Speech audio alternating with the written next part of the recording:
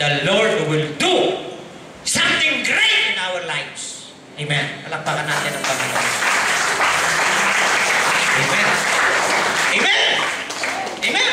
Hallelujah. She said, May your servant find, find favor in your eyes. Then she went her away and ate something, and her face was no longer downcast. You know, if you are burdened with so many things, your, your face is like this. Amen. Tao pa ho rito? But if you know that the Lord is granting your prayer, your face is like this. Hello. And you're always singing, God is good all the time, to the darkest night, and His light will shine. God is good. Pa ho ba rito? Tagin natin ang pagbasa. Next.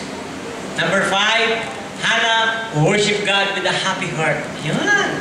Hannah worship God with a happy heart. 1, 1 Samuel 1.19. 1 Samuel 1.19. Hannah worship God with a happy heart. 1 Samuel 1.19. Tingnan natin. 1 Samuel 1.19. 1 Samuel 1.19. Early the next morning, they arose and worshiped before the Lord and then went back to their home at Ramah.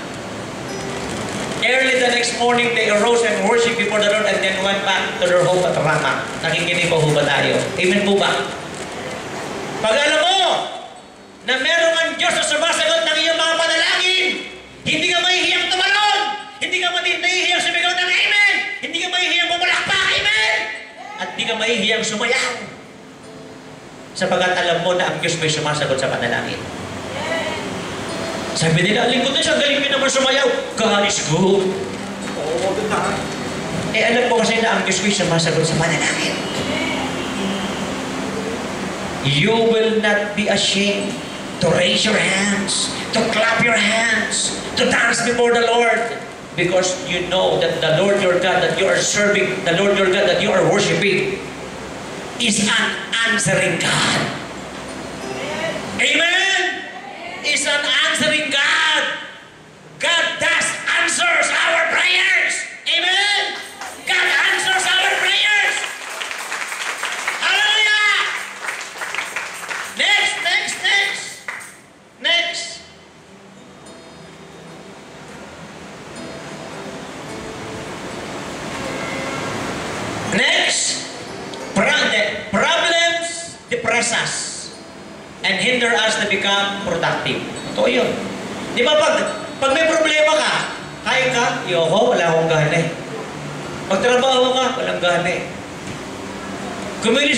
Gana eh. Bakit? Bigo ako, bigo. Kung is complicated ang status ko ngayon. Di ba? Pag, may problema ka, ang lungkot mo eh. Yung mga hindi uma-attend every Sunday, malulungkot ang buhay niyan. Ang totoo lang. Yung umaatin na kada Sunday, hindi pa late, tapos may dala pang mga kaluluwa, yan ang masasayang buhay sa totoo lang. Huwag kayong maggalit sa akin. Yung mga umaatin kada Sunday, those who are attending every Sunday regularly, you know, these people are contented and satisfied with God. Yes! The reason why you are not attending regularly because you are not satisfied and contented with God. But if you are satisfied and contented with God, you will attend regularly. And not only that, you will attend early. And not only that, you will bring more souls. Amen? Jesus. Amen? Because you know and you know and you know and you know.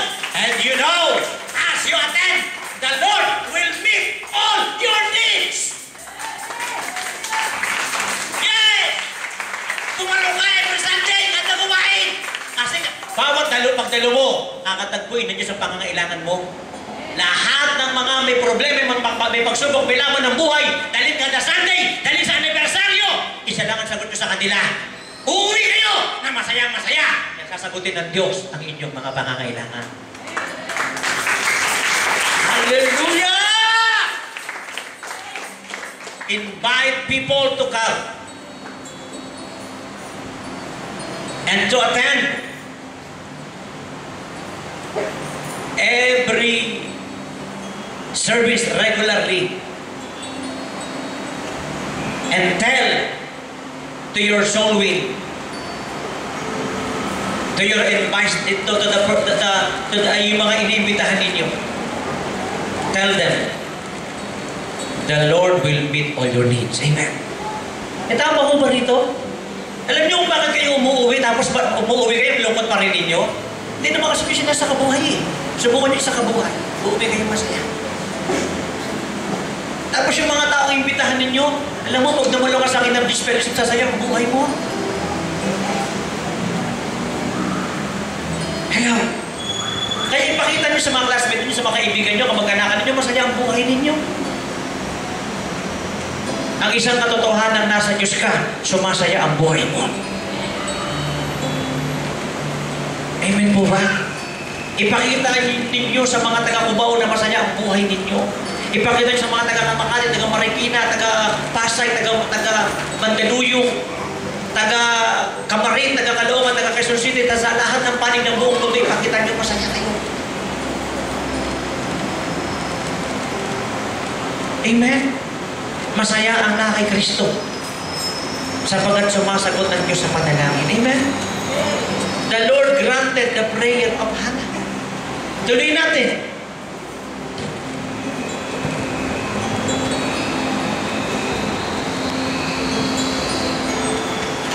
God answered her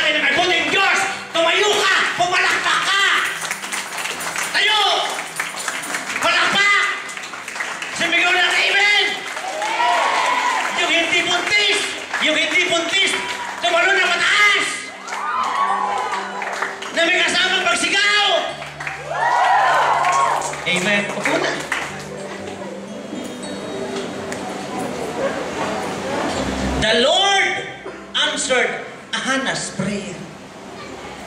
Ha ha! Ha ha ha! Sabi mo sa katabi mo, ha ha ha!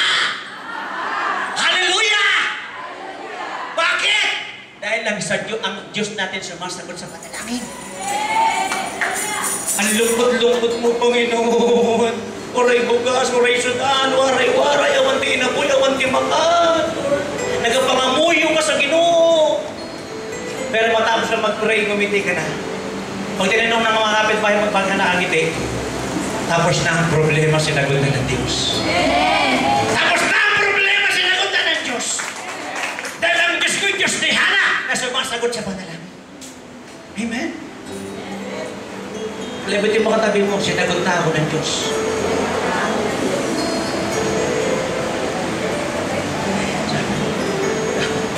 Sinagot na ako ng Diyos.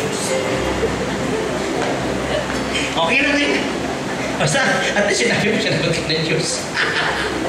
First Samuel 1.20. First Sam- So in the course of time, Hannah became pregnant and gave birth to a son.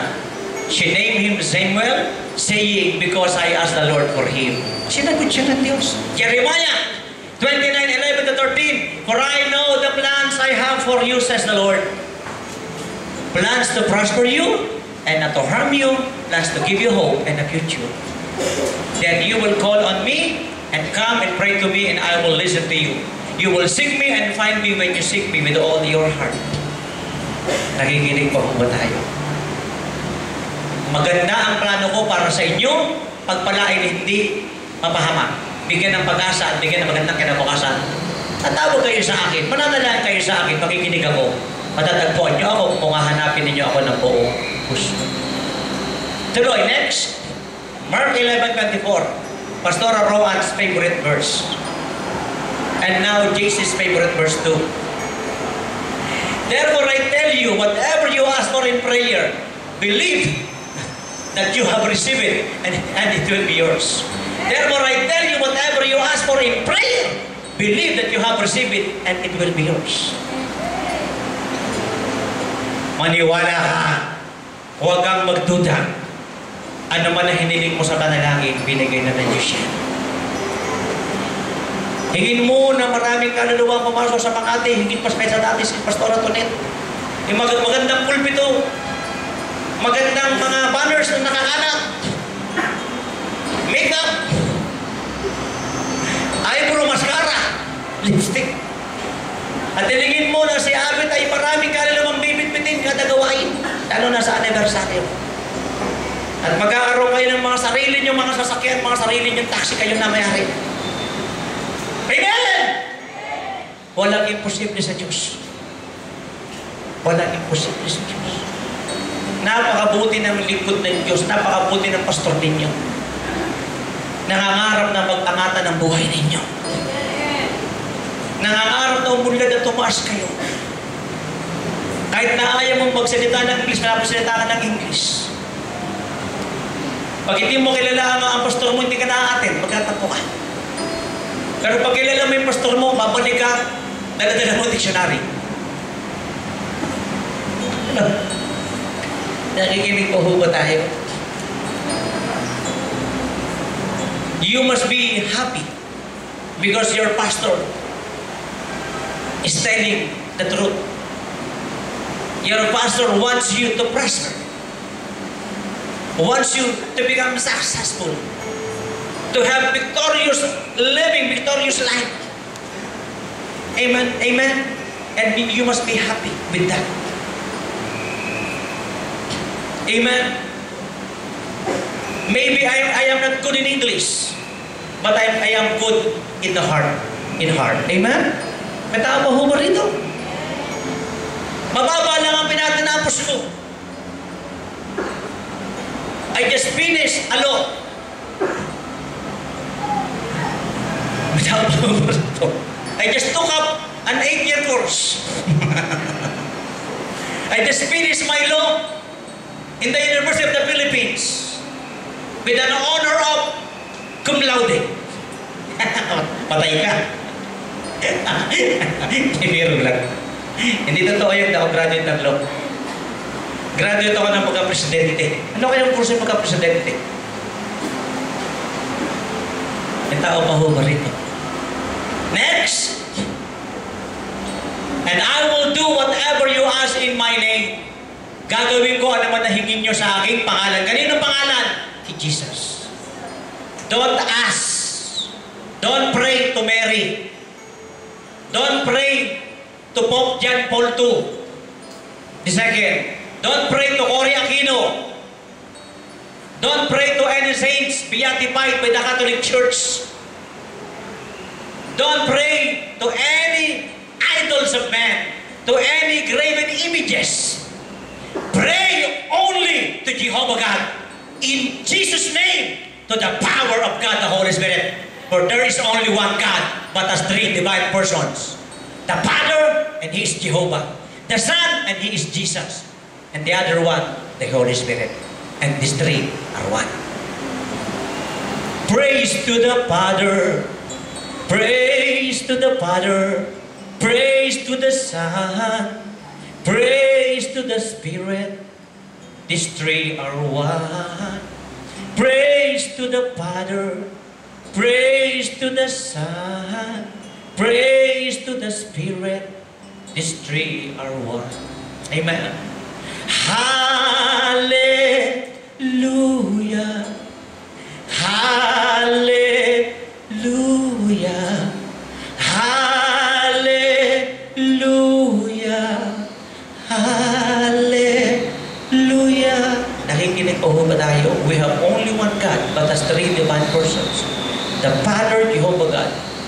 Jesus, and the Holy Spirit, and these three are one. 1 John 5 7. 1 John 5 7 says, There are three that bear records in heaven. The Father, the Word, Jesus, and the Holy Spirit. And these three are one. 1 John chapter 5 verse 7. Nakikinig po ba tayo? And I will do whatever you ask in my name. Ang galing mo. I will do, gagawin ko. Ano ba na hiningi niya sa pangalan ko, gagawin ko. Whatever you ask in my name. And His name is Jesus. Not Muhammad, not Buddha, not Eli Soriano, not Maram, not Manalo, not Confucius, not Mao Zedong, Lenin, not Karl. His name is Jesus. And He said, And I will do whatever you ask in my name, so that the Father may be glorified in the Son. You may ask me for anything in my name, and I will do it. Nakikinig po ba tayo? Ama, sa pangalan po ni Kristo Jesus, sa kapangyarihan ng banal na Espiritu, ganyan ang tamang pananalangin. Nakikinig po ba tayo? Ama, sa pangalan po ni Kristo Jesus, sa kapangyarihan po ng banal na Espiritu, pwede ka nang dumirekta, Lord, in Jesus' name. Oh, kaya di ba, di ba patapos yung prayer natin, laging may in Jesus' name, di ba? In Jesus' name, Amen. Nakikinig pa ba tayo? After our prayer, we are always saying, in Jesus' name, or in the mighty name of Jesus, or in the sweetest name of Jesus. Are you still with me? Are you still awake? You may ask me for anything in my name and I will do it. Don't doubt. Lahat ng hihingin natin ibibigay ng Diyos. Lahat na makapagbibigay ng kadawalatian. So that the Father may be glorified in the Son. Lahat ng hinihingi mo makakapag-glorify sa anak ng Diyos, ibibigay ng Diyos yan. Anything that you ask in Jesus' name, that makes His name to be glorified, the Lord Jesus Christ will surely grant them all. Nakikinig po ba tayo? The Lord Jesus Christ will surely grant them all. Nakikinig po ba tayo? Conclusion. Ito na tayo magwawakas. Kunin na muna natin yung offering bucket. Pastora, mga pastora, kunin na yung mga offering bucket. If we will pray to God in times of our needs, the Lord will make a way where there seems to be no way. If we will pray to God in times of our needs, the Lord will make a way where there seems to be no way.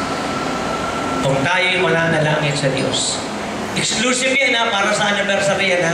Exclusive yan. Naglagay na ba kayo para sa anniversary? Hindi ko pa kayo naglagay. Exclusive yan para sa anniversary. Kailangan ibabalik natin ulit yan para sa kanilang mga text and offerings, etc. Pero exclusive yan for the anniversary. I-separate yan. Kung may mga sobrang nahalo, may tithes, i-separate ninyo, hindi yun. If we will pray to God in times of our needs, the Lord will make a way where there seems to be no way. Amen. Tayong lahat ay tumayo. Please stand, please. Standing, stand, please. And, and as you are standing, bow down your heads and close your eyes. Ask God for your healing. Ask God for your miracle. Ask God for the healing and salvation of your loved ones. Ask God to save your souls, to save your soul. Bow down our heads and close our eyes. Ask God to bless your job. Ask God to bless your business. Mas maganda magkaroon ka ng sarili mong business. Pag magagalit sa akin, okay lang na ikaw ay naka-downlines. Pero walang malalim na tagumpay dyan. Mas maganda may sarili kang business mo. Tandaan mo yan.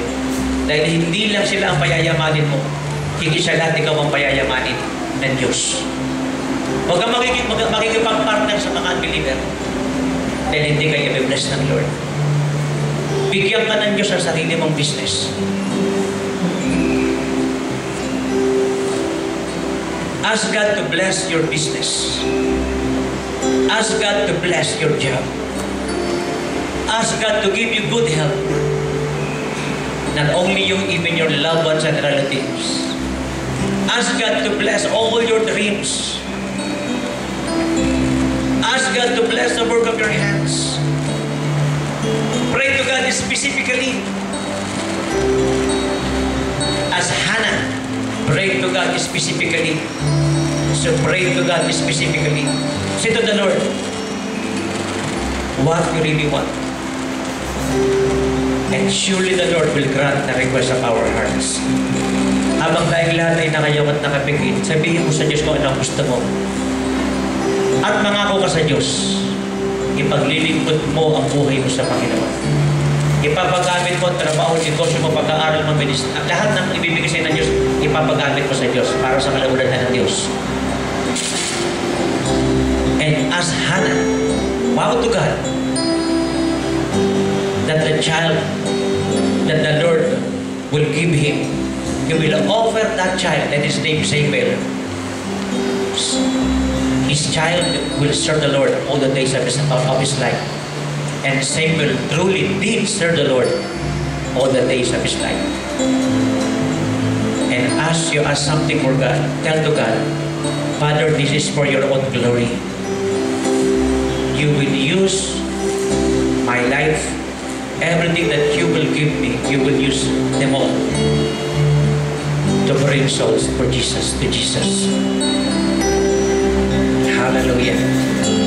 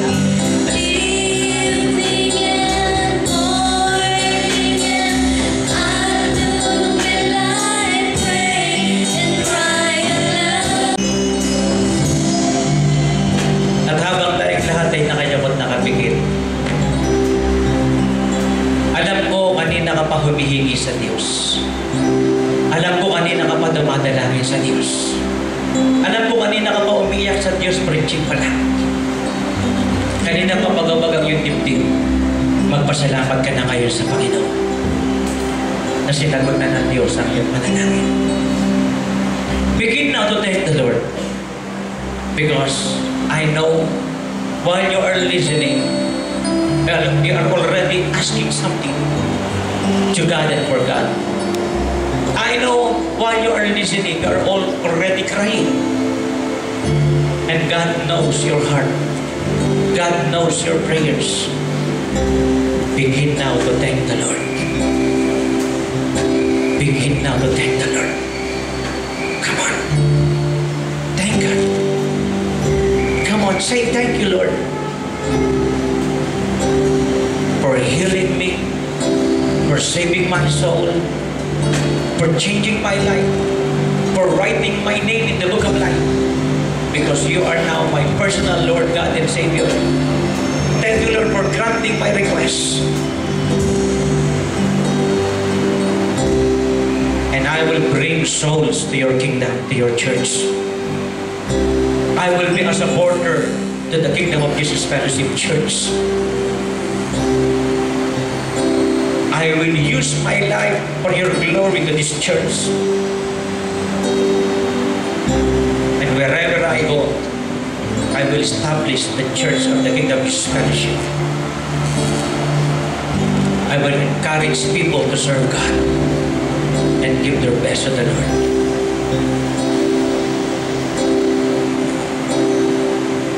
Come on, say thank you to God. Magpasalamat na ngayon sa Panginoon at magdala ng maraming kaluluwa sa Diyos. Encourage mo silang magdala ng maraming kaluluwa. Encourage mo lang, ibig, encourage mo silang ibigay ang buhay sa Panginoon habang ibinibigay mo ang buhay mo sa Diyos. Encourage mo silang magbigay ng the best habang binibigay mo ang the best sa Panginoon. It's not about money. It's about love for God. It's about love for God. Mary of Bethany in John, in John chapter 12 poured the very expensive perfume to Jesus. And Jesus was touched and blessed because it means Mary loved the Lord Jesus so much. 6 5 says, Love the Lord your God with all your heart, soul, mind, and mind.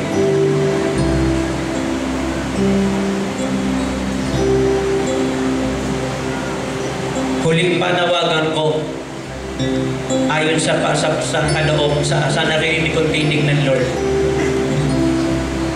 Sa lahat na ang gusto ang buhay ay maging pagpapala, hindi lang pagpala ay maging pagpapala sa marami. Alam ng mundo na ang buhay ko hindi, hindi pinagpala lamang, kundi pagpapala ako sa marami. Alam niya, alam ng mundo yan. All people that knows that know me, they know that I'm not just blessed, but I am a blessing to many. If you want your life not just to be blessed by God, but to become blessing to many, will you please come forward? Come forward. Come. Quick, Pastor. Lord, not just to be blessed, but cause me, allow me to become blessings to many. Taas mo ang dalawang kamay mo ito, gumit na ka rito. Ang buti nakaintindi ka. Ang panawagan ko ay hindi ka lang pagpalain ng Diyos. Ang, pag, ang pagpanawagan ko ay maging pagpapala ka sa maraming tao. Ang tanong ko, gaano karaming tao ang gusto mong pagpalain? Gaano karaming tao ang gusto mong iligtas? At gaano karaming tao ang gusto mong mahimo ng buhay? If you are praying to God and asking for His blessing, not just to be blessed, but to bless others, gaano kalaki ang pangarap mo na maabot? How how much number of people do you want to be touched by your life? To be blessed by your life? How many nations? How many countries? Do you want your life to be touched? Do you want through your life be touched by God? Fact, actually, we are not blessing.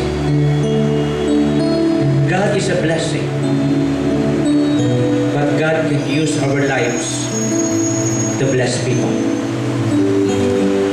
So Father, for your own glory alone, those who are watching and listening right now,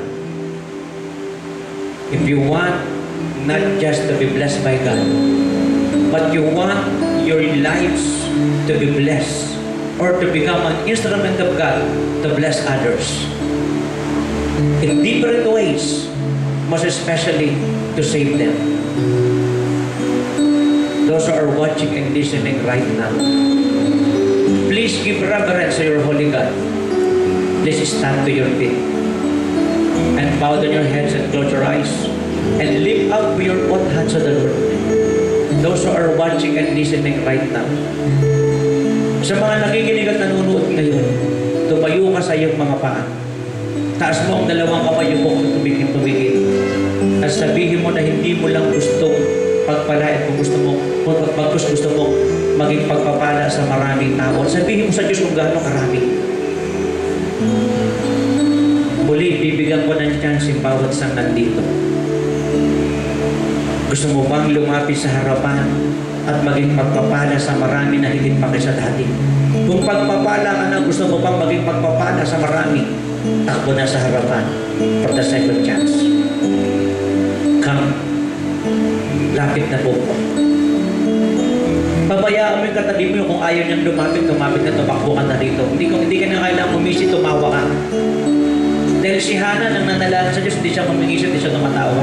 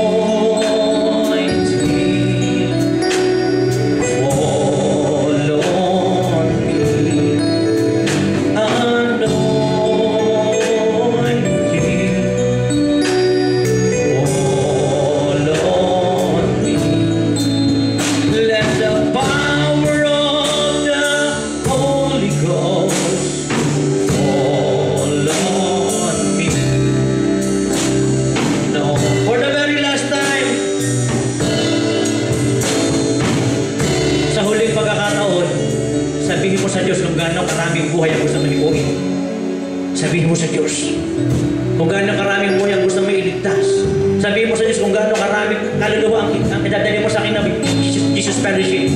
Sabihin mo sa Panginoon kung gaano karaming churches ang kayo, Jay, pagkatatayo mo buong mundo. Sabihin mo sa Panginoon gaano karaming kaluluwa na dali mo sa araw ng anibersaryo. I-apply mo ngayon ang lahat ng natutunan mo. Say to God, how many souls, how many countries, how many people from all walks of life will you bring to the footsteps of Jesus, to the footstool of Jesus? to the feet of Jesus. How many churches are you going to establish?